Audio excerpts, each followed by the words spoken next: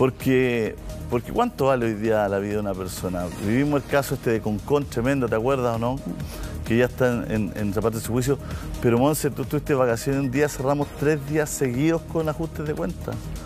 En Franklin, una moto, una ojalatería, pararon a las 12 del día, en directo. Hora de noticias. Las cámaras de seguridad, entraba un tipo, balas, pum, se iba en la moto, pum. Otro también cerca de ahí. Eh, eh, la verdad es que ha sido muy duro esto y, encontrarse con esto, con el valor de la vida, cuánto es hoy día, que hay gente que mate por, dinero, la verdad es que es bien brutal, es bien, brutal lo que tiene el trasfondo de todo esto. Está Rafa Cabada en, Las Condes, está fuera de la clínica. Queremos saber y conocer un poquito el recorrido de, de Pola de todos los días, Rafa, porque hemos hablado mucho, Rafita, hola, ¿cómo estás? Hemos hablado mucho precisamente de, del recorrido que ella, que ella hizo y queríamos ver, hacerlo contigo, está a menos de una cuadra. Llegó la Monse, Rafa, está con nosotros, que Rafita está en la radio. Sí, la, escuché, hola Monse, hola, ¿cómo Rafita, ¿qué tal? Ah, a ver, déjeme que le dé unos datos de ubicación. La, cordillera hasta allá, hacia hasta el este. Eh, um, ah, el norte hacia mi derecha. Esta es la clínica cordillera. Desde aquí se ven dos entradas, eh, esa donde está el cartel grande, y la de urgencia que está allá, que es donde hay más gente en este momento. Por cualquiera de los dos lugares que haya salido eh, Pola, caminó por esta calle, por eh, Alejandro Fleming. Um, y no caminó más de 30 metros. Al llegar a esta esquina no son más de 30 metros. Ahí está Cañumanqui. Esa es la calle donde, según todos los informes eh, policiales, eh, fue eh, interceptada por el sicario. Este es un barrio muy, muy residencial. El semáforo, el primer semáforo que ustedes ven es Florencio Barrios, el segundo es Tomás Moro. Ah, probablemente los árboles le tapan a ustedes la visión, pero ahí están las torres de Tomás Moro con Fleming. Ah, está el liceo Simón, el colegio Simón Bolívar y el liceo Alexander Fleming. Es una zona tremendamente residencial. Y, eh, a, ver, el grifo, ahí está el grifo en la calle Cañumanqui, y esa cámara ahí del medio es la cámara de seguridad que capta las imágenes que se han conocido en la mayoría de las notas donde eh, Pola retrocede, vuelve a su, a su lugar de trabajo. Pasa de hecho por el lado de este árbol eh, y se, identifica claramente por, este, por esta suerte de maceta de, de piedra y cemento.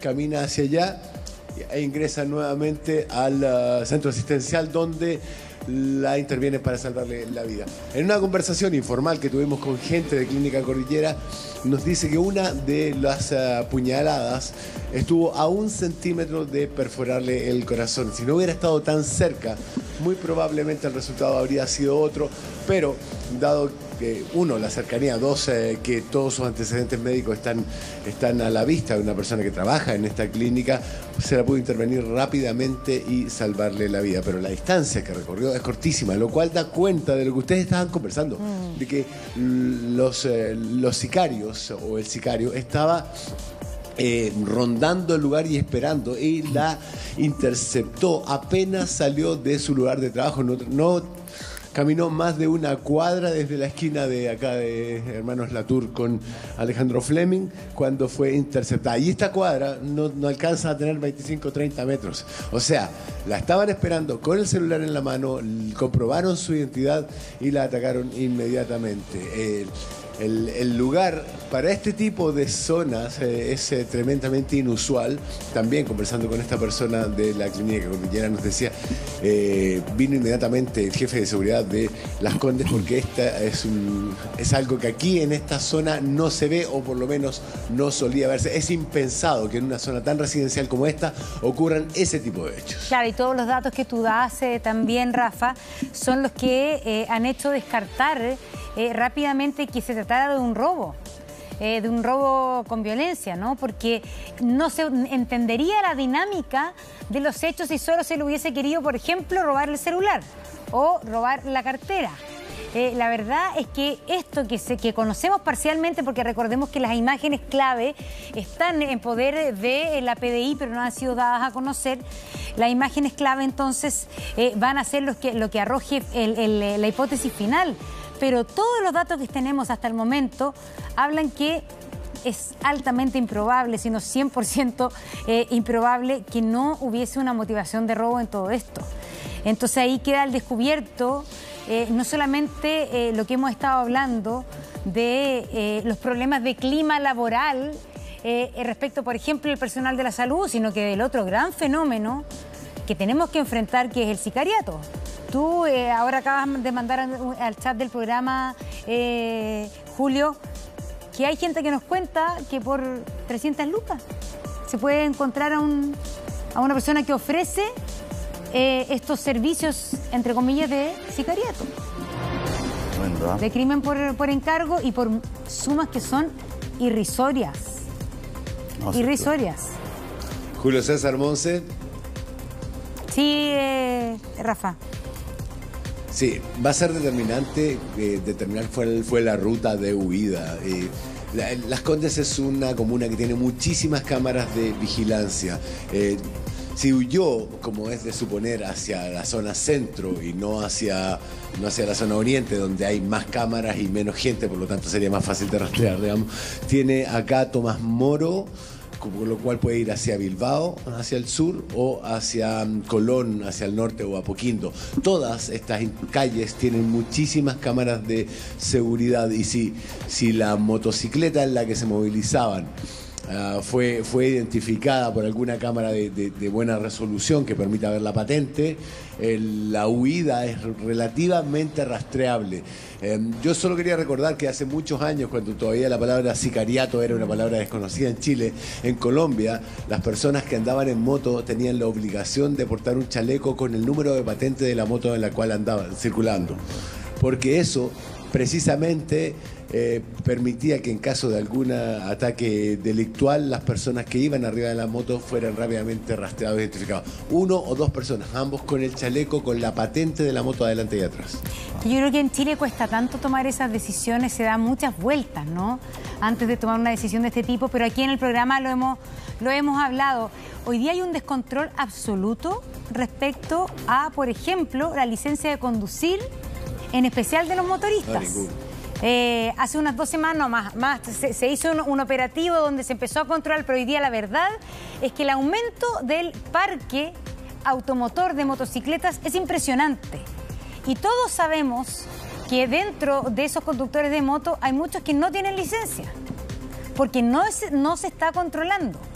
Y también hemos dicho acá que quizás es necesario una medida, al menos transitoria, de la prohibición de transitar más de, más de una persona en una moto, porque es muy fácil cometer un delito si andan dos arriba de la moto. La moto se utiliza como medio de transporte, es súper necesaria, hoy día hay una proliferación de todo lo que es el delivery, los repartidores, etcétera, pero todos esos trabajos no tienen por qué hacerse con dos personas. Hay gente que quizás se transporta a dos personas, pero eso va a tener que cambiar, quizás por en algún minuto, para tratar de bajar un poco los delitos que los cometen fácilmente dos personas arriba de una moto, si es muy fácil escapar. Si es muy fácil que uno se baje, roba una cartera, pega una puñalada, en este caso, 11, y salen corriendo. Bueno, vamos a tener que tener tomar medidas más drásticas en Colombia, se tomó esa medida en alguna ocasión, además la de las patentes. Eh, bueno, son situaciones que también somos buenos para hacer los tontos. Mira, la radio Bio Bio hace unos 3, 4 años atrás hubo una muerte, dos muertes seguidas, me acuerdo clarito que fue en Lota y en Quillota. Y a uno en un semáforo le pegaron como 45 balas. Y nosotros en el programa que hago en la radio llamamos a las policías para decirle que qué pasaba con el sicariato en Chile. Y la respuesta fue que en Chile no había sicariato. Esa fue la respuesta, que habían homicidios. Pero en Chile no había sicariato. Y nos negamos, nos negamos, nos negamos por mucho tiempo a hablar siquiera de eso uno, uno no sé si internamente era porque era una orden, porque no se hablaba de eso, porque me imagino que se estaban empezando a tomar medidas, pero, pero hay, había una negación mm. sobre el tema. Vamos a hacer un alto, ¿ah? pero vamos a volver de inmediato. Estamos, nos quedamos con los tres, volvemos en un segundo. Creo que es jueves, ¿ah?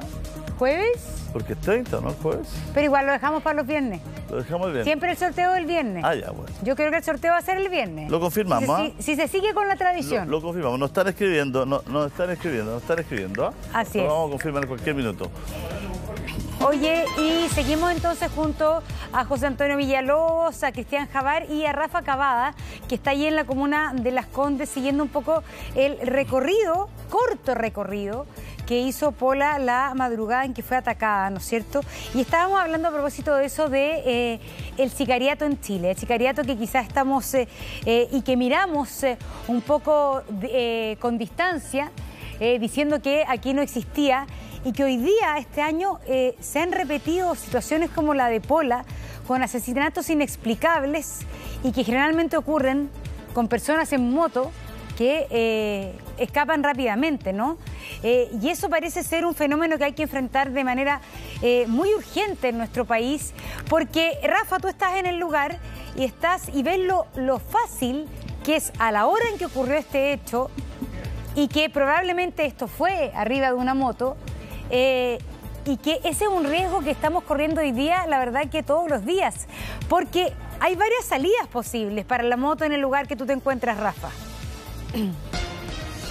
Sí, Monse, mira, si estaba en, Fleming, eh, tiene doble tránsito, así que pudo haber salido hacia cualquiera de los dos. Lo más probable es que hacia el eh, oeste, porque en el oeste tiene Florencio Barrios eh, para elegirse hacia el norte, o Tomás Moro, que puede ser norte o sur. Si toma Tomás Moro, además llega a Bilbao, son 500 metros, no más de eso.